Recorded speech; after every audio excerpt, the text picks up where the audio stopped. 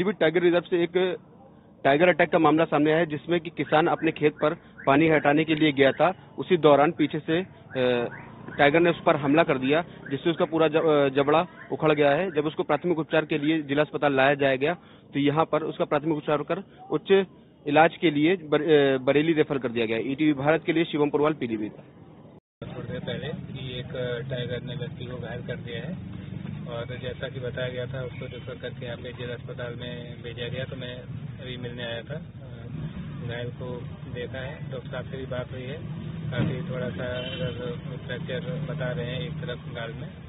तो क्योंकि यहाँ पर अभी उतना इलाज उपलब्ध नहीं है, इसलिए इनको बरेली रेफर किया गया है। जो भी इनकी मदद करनी होगी, उनका इलाज बेहतर करवाया जाएगा।